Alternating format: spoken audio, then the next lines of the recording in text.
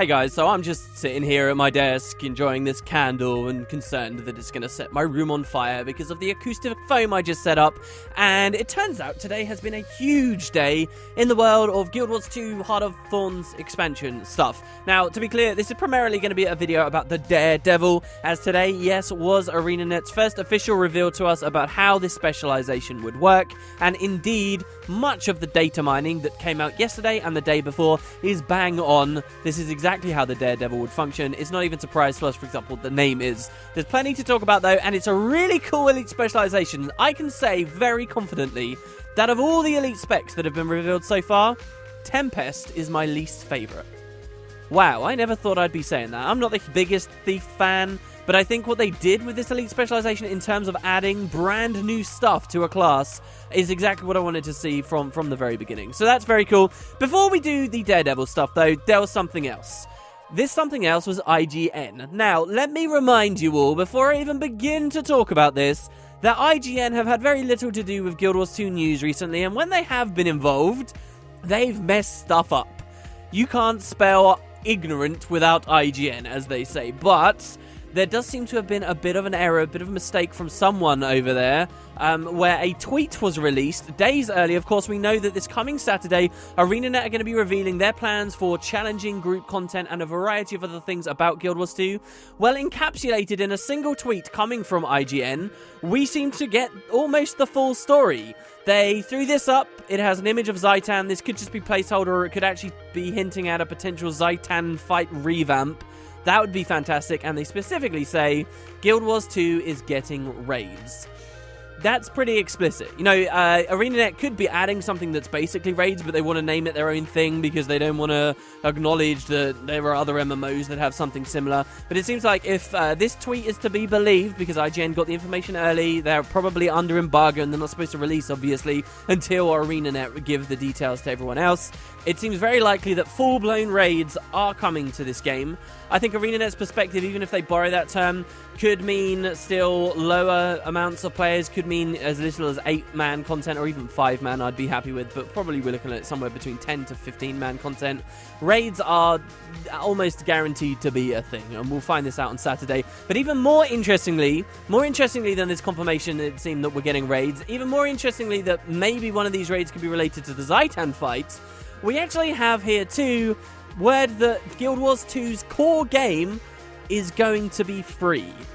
This is the really huge thing. Now, we know that botting has been on the devs' mind. We know they've already tackled a wave of botters and gold sellers and things at the game's initial release.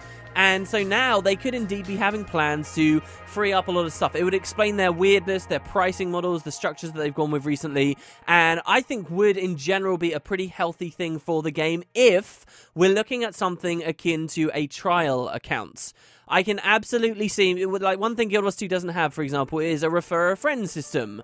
Why don't they have those systems in place? Maybe it is because for Heart of Thorns and going forward, they want people to be able to try base Guild Wars 2 for free. You have a free account that has a variety of things locked off. Maybe certain formats like these raids and like Fractals of the Mist, the new revamped ones, maybe dungeons, uh, Heart of Thorn specific content, maybe certain things are locked off, but what they're going to call the core game and what they distinguish that as is probably going to be a lot of what they talk to us about on Saturday will be free for people. And this doesn't just mean content as well. I'm looking at this in terms of free accounts cannot use chat. They can only speak to, you know, people who have friend listed them and friend listed them backpaps or only be able to use guild chat. They won't be able to send mails. They'll have these kinds of restrictions in place a, to incentivize people to buy full real accounts, but also to combat things like gold sellers who won't be able to use these, you know, many, many accounts to spam you with advertisements for this stuff. So it seems really exciting, and specifically, don't just think of PvE, think of PvP.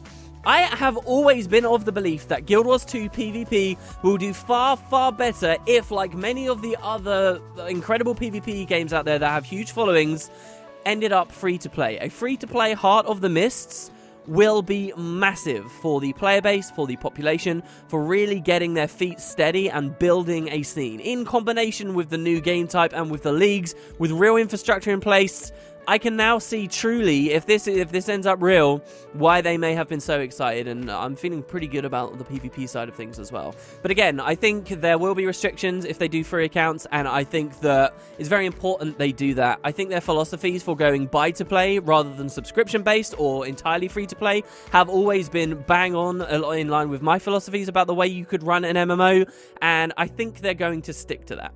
This should uh, explain things really well. So, so yeah, uh, very exciting stuff. Let's move on to the Daredevil. Um, this was news that they actually wanted us to have.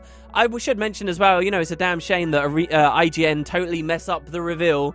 But uh, I actually would argue this hasn't messed up the reveal. It's just got us a lot more excited and a lot more interested in whether it's actually right or not, and looking forward to Saturday.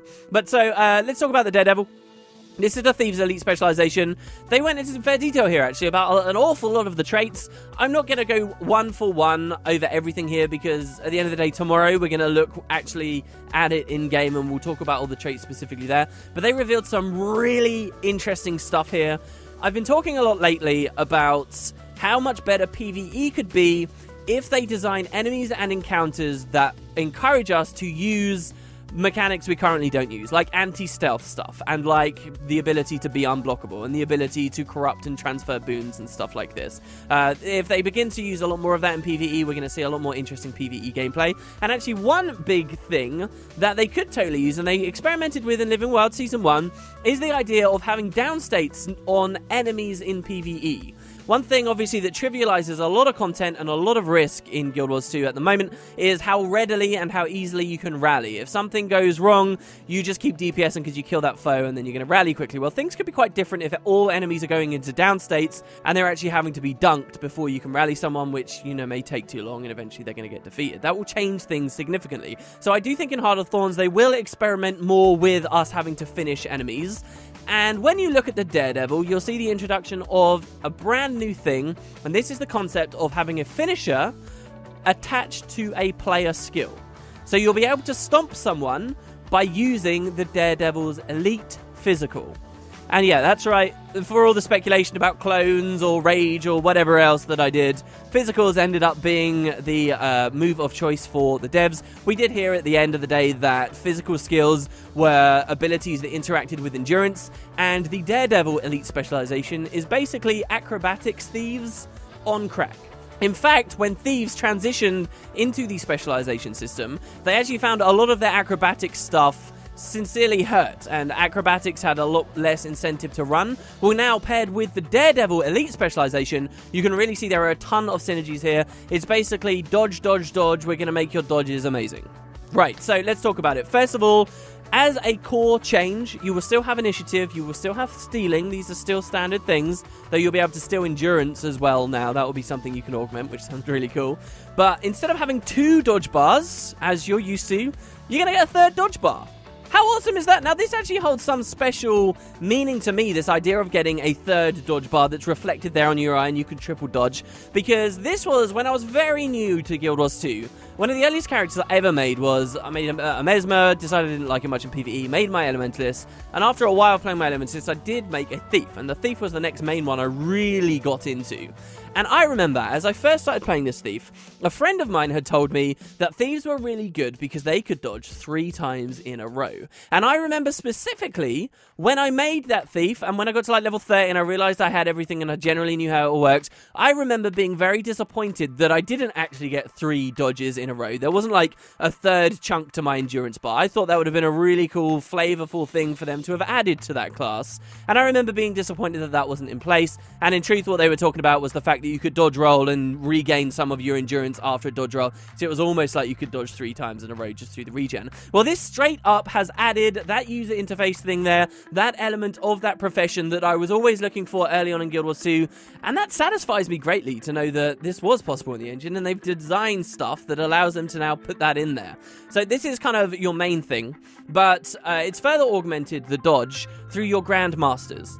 So if you are picking Daredevil, of course you're going to have one of the three Grandmasters. And they've done something really cool here where each of the three Grandmasters changes your dodge roll from a simple evade into something that evades and does something more. It changes the animation completely. So instead of having just evade or dodge, you're instead going to be able to impaling Lotus bound, or dash. Depending on the Grandmaster you choose. There are also a lot of references to Guild Wars 1 Assassin stuff here, which I'll mention as we go through. So, Impaling Lotus, first of all, if you choose this Grandmaster, it changes your dodge roll into something that will whirl finish. So if you're in any kind of combo field, you'll get extra projectiles coming out every time you dodge roll.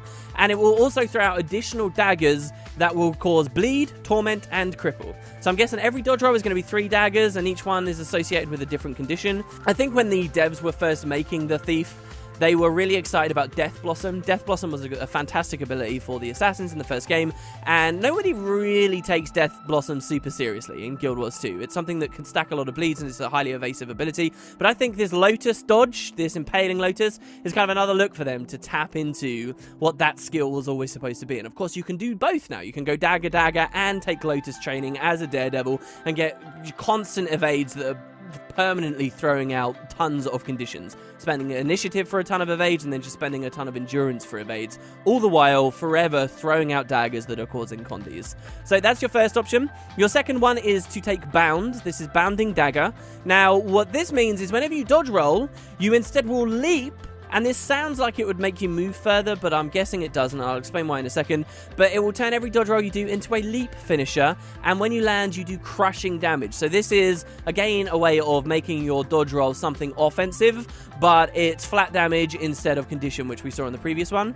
Now, that leap finisher is no joke, guys, especially on the Thief that has a lot of access to smoke fields. Turns out leap finishers through smoke fields are really strong, and this can help you stack a ton of stealth without having to, you know, use your dagger main hand anymore for frequent heart seekers or to waste all of your initiative. You can instead choose to spend your endurance rather than your initiative. Uh, this also would give you a ton of sustain for what it's worth with a water field. Now, you don't get great access to those, but in PvE, at least every time you steal from a ranger, you're going to get one. And those frequent dodge rolls, of which you can do three in a row at least, and then if you take acrobatics as well, and you're just regenning a crap ton of it up, that's a whole bunch of heals for yourself too. So that's Bounding Dagger, got some really interesting applications. And the last one is my favourite, Dash. Uh, unhindered Combatant. Now, this is my favourite only because of Guild Wars 1 nostalgia. Let me explain. In the first game, there's a very basic skill for the assassin called Dash that was basically like the Guild Wars 1 equivalent of super speed. It would move you incredibly fast for a very short period of time on a really short cooldown. So as you're running around the world, you just pop Dash and you'd go forward this little spurt of distance and then you'd go back to more standard combat speed. Dash was a great skill. It's one of my favorite assassin skills. Well, now every time you dodge roll, you're going to get Dash. It's not quite the same as super speed, don't get me wrong, we don't know until we see the live stream, but their description here is that it means whenever you dodge roll, you're going to cleanse, cripple, and chill, so those kind of uh, movement impeding uh, CC conditions. And this doesn't sound like it has an internal cooldown either, so you can just constantly have those cleanse of yourself. And in addition to you doing your standard dodge roll animation, you'll actually move a lot further. So because they say here that you will move a lot further when you dodge roll, it makes me kind of think that the bounding dagger one, the bound, the leap, that one probably won't make you move too much further. So yeah, if dash makes it feel like the Guild Wars 1 dash, where you're just going to dodge around, you go like vroom forward and ah, and think about as this as well. Think about the combos of this with, say, dodge jumping. All right, uh, this is going to be really interesting for a lot of platforming elements. And I don't just mean out in PVE where you're wandering around and you're doing cool little trick jumps, but I mean in PvP. I mean actively being able to kite people and make certain jumps easy because you're dodge jumping while being an unhindered combatant and you have access to dash because you're a daredevil. That's some fantastic design right there, and I'm looking forward to seeing what people do with it. So, uh, what about the staff? Now, we yes, it is staff. This was not a very long rifle we saw in the teaser at the start of the week. It is staff. Uh, a little bit of a description about what the Daredevil's supposed to be. They say it's an up-close fighter that can engage multiple enemies at a time with sustained area of effect damage while retaining high lethality towards single enemies. That description pretty much describes Sword. All right, it, it, really does. So I think Staff will compete with Sword in a lot of ways. Staff is applying weakness. Sword applies weakness on the auto attack. Uh, both of them have got built-in evade frames. Uh, Sword is fairly sustaining too because you're going to be stealing boons from other people. However, I don't think that's necessarily a bad thing. I do appreciate there's a possibility of having Sword Dagger on one set, for example, and then Staff on your other set but let's be honest, how many people are ever really going to give up short bow? I somehow feel like that's bad design on the thief, that everyone uses short bow. But I don't know, maybe I'd be more frustrated about it if it was actually a thief main. But so it's got a variety of attacks. Mostly uh, we hear about the ability to launch yourself backwards, we hear about the ability to apply weakness, and also something called Vault. Vault excites me. I really like the idea of this animation, and I can not wait to see it on the stream where we're probably going to place our pole in the ground, fly forward, and maybe get a real big leap somewhere. And they say you even get big damage when you land. That's going to be really, really cool to see. Moving on to the physicals. And aside from the, all the stuff that augments dodge, this is where the class really, really shines for me, and I'm very excited about a couple of things. So, Number one, the heal is a channeled heal that will continue pulsing heals on you for a period of time while also regenerating your endurance. And should you have max endurance while using this heal, it will instead heal you for more, so you don't get like that wasted benefit. So it's got some nice play, A, as an ability to get endurance back because that's so important as a Daredevil, or B, being able to just heal a lot because you manage to uh, keep high endurance anyway. I'm thinking of it very much as being like Ether Renewal for Elementalist, except for uh, where they Condi Cleanse, you get endurance back. I actually think Ether Renewal sounds still sounds a lot more powerful, but yeah, that's your physical uh, heal. Then we get uh, description of Fist Flurry, so you know how auto attacks guys tend to chain? We don't often see that being done to a great degree for utility skills. Well, that's exactly the way that the Daredevil is using across two of their abilities, their physicals. So we got Fist Flurry, and they say if you hit with all of these strikes, it's going to uh, pulse out a bunch of uh, little hits, and if you manage to hit with all of them, and only if you hit with all of them, then it will rotate into a chain and you get to use something else. That something else is called Palm Strike. This is a massive damage strike that cannot critically hit this again is a reference to GW1, where Palm Strike was a very commonly used skill for assassins. We'd have to dive a little into the mechanics of assassins to explain this thoroughly, but it back then again was a high damage hit that like couldn't be ignored because it was a touch skill. So I guess they're really trying to key into what that felt like before, but this is a huge strike of damage if you land Guild Wars 2's Palm Strike, and then it also will do a delayed strike of damage shortly after as well. So that again, as a fan of Palm Strike from GW1 Sounds awesome to use. Moving on, we've got Bandit's Defense. This is basically just a riposte that will knock down instead of perhaps something more minor that we see on other classes that riposte with their weapon skills. I have no idea what the cooldown will be to make this feel really uh, useful for people, but that's it, Bandit's Defense. I feel like there's always usually one or two uh, of the utility skills that feels kind of lackluster. Impairing Daggers this will throw out three daggers. One of them poisons, one of them slows, and one immobilizes. Or that's how they make it sound. Uh, poison, of course, Thief already has a lot of access to, so maybe we're not too excited about that. But the slow and then the immob, a bit of slow on the Daredevil class. And immob has always been incredibly strong. That will help you line up a lot more of your abilities. And actually, you'll notice this throwing knives idea, this ninja idea, has ended up as a part of the Daredevil. And that rolls me lastly into distracting daggers for your utility skills, in the elite minus. And this is the thing we saw data mined. You know, this thing everyone was like, oh, maybe they're going to get kits and they'll get all these ninja themed kits. This was a part of the Daredevil. Seems kind of random. How, how can you call this a physical skill? Really? When you compare what physical skills are on the Warrior? I think they just had a cool idea for a utility skill and they wanted to throw it in anyway, even though it had a bit of a weird tag. They're being very liberal with the weird tags but I guess I don't mind too much because at the end of the day, it is a sweet ability. My only concern with this is that, again, it's now a cool concept that really should have been reserved for a proper ninja spec at some point in the future. But yeah, so we get a basically a kit with ammo, it sounds like to me. They haven't clarified how this works, but this is a physical skill. You equip the daggers and you can throw them. And when you throw these daggers at range, they interrupt. And the cool gimmick to this ability is if you actually score interrupts with them, then it reduces their cooldown. So if you're bang on point Twitch gameplay, incredibly good at baiting out abilities and interrupting, interrupting, interrupting from range, uh, I, I, guess these have got very high velocity on them as projectiles for what it's worth, then you can re-equip your distracting daggers very fast and do it again. And once again, this is a reference back to the assassin in GW1. There's just so many of them here. Really, really enjoyable. Maybe you can argue the distinction between the, this as a physical and like a kit is you're not going to permanently be able to have this. You're not going to be able to rotate into it whenever you like it's going to have a cooldown. Sounds like it may even have like an ammo kind of system on it. So, uh, so yeah, we'll see how it looks on the live stream. I think it's pretty interesting though. Not as interesting as the Elite, however. This is definitely uh, it took the Daredevil for me from like a 7 out of 10 to a 9 out of 10.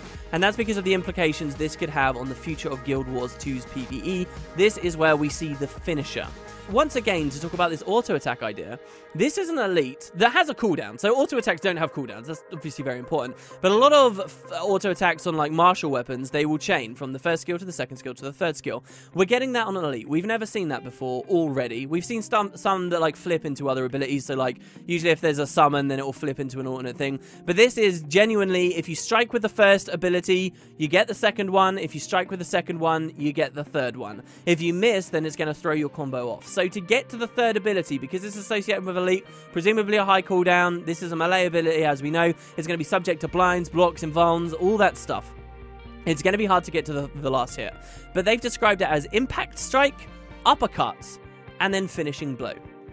And so the first two are going to do some damage, presumably high damage. The third one, if you hit a finishing blow as just your elite skill on a downstate body, it just stomps them straight away. No need to stop and press F and give yourself quickness or whatever and then slowly execute them.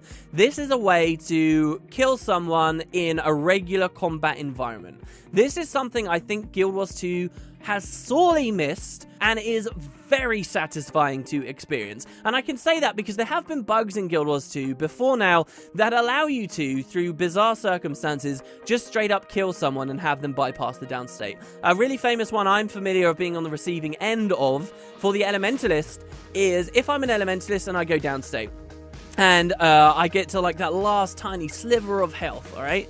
And then I vapor form at the last moment, and an ally rallies me then that's cool and I'll stand up at the end of the vapor form and I'll be fine. But next time I go downstate, the bug would mean that I'd go back to that tiny sliver of downstate health again. It wouldn't properly reset it, and then in quarter of a second I'd die. And so when you'd experience this on very rare occasions in PvP, you'd have these awesome moments where you're beating the poop out of a uh, an opposing elementalist, maybe on a really high glassy build. You blow them up, and then it feels so good to just have them instantly die. Similar situation occurs when, say, you kill someone in mid-air and they take a lick of full damage, and then that instantly kills them as well. These are fun moments, and Daredevils will be able to do that as an actual part of the game's mechanics. You're, it's going to be difficult and circumstantial, and I would hope that the devs tailor it properly. But if you land that first elite strike, you land the second, and the second one is the thing that kills them, to immediately roll you into the finishing blow that finishes someone all in this sweet combo, maybe while you have quickness on you. Oh, that's going to be brilliant. And so there's a precedent set here too that this can appear on more elite specializations and be littered further throughout Guild Wars 2's combat as time goes on. And this can be another tool for the devs in their little toolbox to invent, incentivize various builds and playstyles that currently don't see any usage because those characters don't have access to blinds or stability or enough way to finish off their targets once they've got them down. So they can they can litter these through the new elite specializations, maybe even update some core stuff as time goes on to make the PvP environment a lot richer. And this can happen for PvE too. That's the last thing I want to mention for this video. Again, to bring it back to what I originally said, they can slowly now once we have a few classes with this kind of finishing blow mechanic built into some of their skills, they can start to add mobs that also have downstates and you're going to want to use different skills and different elites because you need to get those quick finishes on a ton of trash that floods in, say, in a specific boss encounter. And you want to have those daredevils there using this specific elite just so that you can keep up with the pace of these mobs constantly coming in because perhaps the fact that they have downstates now means traditional cleave just isn't quite going to cut it. As an example, of course, an overblown example and one that would be hard for the devs to realize right now, but you get my point. The more tools the devs have, the better. This was something I was super happy to hear about. And, uh, and yeah, that's basically the Daredevil, guys. There was some information about traits. Uh, there's one that's you do more damage after you've dodge rolled. Uh, there's the ability to inflict weakness on critical hits, which is insanely powerful. There's endurance giving you initiative. There is Condi cleanse on evade. But I want to go into the true nitty gritty details uh, this time tomorrow when we have the live stream. So let me know what you think about uh, the news today, guys. Both Daredevil side and this uh, gaffe from IGN where they tweeted a little bit early. Uh, is it wetting your whistle? Are you scared about the idea as well of Guild Wars 2 as the core game being free to play? Or do you see that as a really positive thing? All right, well, thanks very much for watching, guys. Have a great evening. I'll catch you next time.